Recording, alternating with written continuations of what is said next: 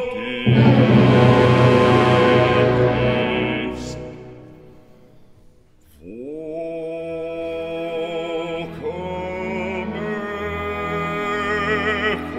come.